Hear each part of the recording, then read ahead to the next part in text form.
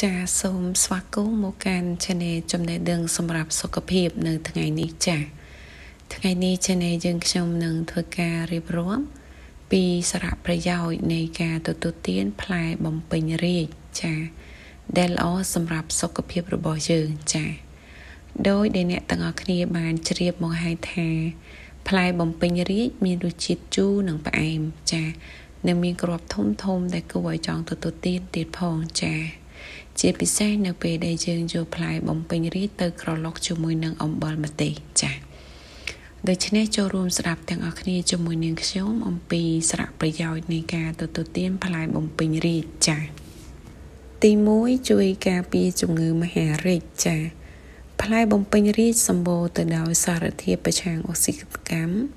ដែលអាចការការពារការរីកលូតលាស់នៃជំងឺមហារីកមួយចំនួនបានទៀតផងចា៎ ទី2ថែរក្សាសុខភាពមាត់ធ្មេញចា៎ការទំពាផ្លែបំពេញរាជអាចជួយជំរុញឲ្យក្រពេញទឹកមាត់អាចផលិតទឹកមាត់បានយ៉ាងច្រើនចា៎ដែលអាចជួយការពារជំងឺពុកធ្មេញនិងកាត់បន្ថយជំងឺមួយចំនួនដែលបង្កដោយបាក់តេរី បង្កដោយមេរោគបានយ៉ាងមានប្រសិទ្ធភាពផងដែរចា៎ចំណុចទី3គឺជួយកាត់បន្ថយសារធាតុ cholesterol អាក្រក់ចា៎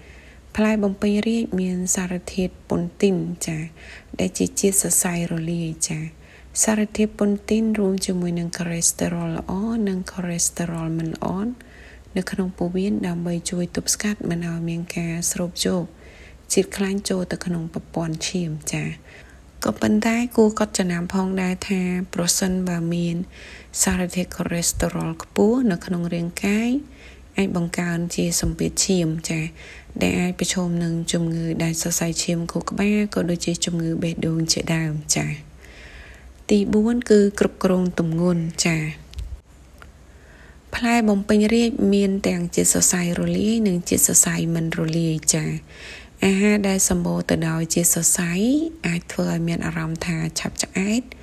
និងមានអារម្មណ៍ថាឆ្អែតបានយូរចា ជាហេតុកាត់បន្ថយនៅចំណង់អាហារចាតែឡែកបច្ចុប្បន្ននេះយើងក៏សង្កេតឃើញថាមនុស្សជាទូទៅមានបញ្ហាសុខភាពជាច្រើនតកតងទៅនឹងជំងឺធាត់ចាជំងឺលើសទម្ងន់ចា ដូចជាជំងឺបេះដូងជំងឺដែលសរសៃឈាមខួរក្បាលជំងឺលើសឈាមជំងឺទឹកនោមផ្អែមដែលបណ្ដាលមកពីអរម៉ូននិងជំងឺតកតងនឹងការគេងជាដើមចា ទី5គឺបង្ការជំងឺទឹកនោមផ្អែមចាផ្លែបំពេញរាជល្អសម្រាប់អ្នកដែលមានជំងឺទឹកនោមផ្អែមចា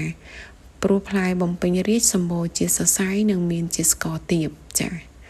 ជាសរសៃអាចបន្ថយល្បឿននៃការរំលាយអាហារដូច្នេះអាចកាត់បន្ថយការស្រូបយកជាស្ករចូលទៅក្នុងឈាម និងអាចជួយគ្រប់គ្រងកម្រិតជាស្ករនៅក្នុងឈាមបានទៀតផងចា៎ ហើយអត្តមត់នេះ channel យើងខ្ញុំដកស្រង់ចេញពីគេហទំព័រក្នុងស្រុកចា៎